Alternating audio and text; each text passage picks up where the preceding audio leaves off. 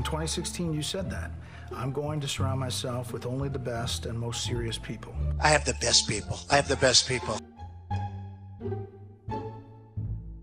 Your Vice President Mike Pence is running against you. Yeah. Your Ambassador to the United Nations Nikki Haley, she's running against you. Your former Secretary of State Mike Pompeo said he's not supporting you. You mentioned National Security Advisor John Bolton, he's not supporting you either.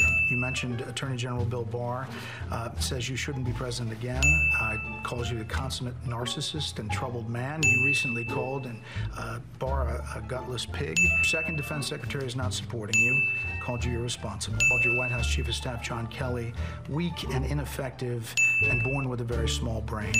You called your acting White House Chief of Staff Mick Mulvaney a born loser. You called your first Secretary of State Rex Tillerson dumb as a rock, and your first Defense Secretary James Mattis the world's most overrated general. You called your White House Press Secretary Kayleigh McEnany milquetoast, and multiple times you've referred to your Transportation Secretary Elaine Chao as Mitch McConnell's China-loving wife. So, why did you hire all of them in the first place? Because I hired 10 to 1 that were fantastic.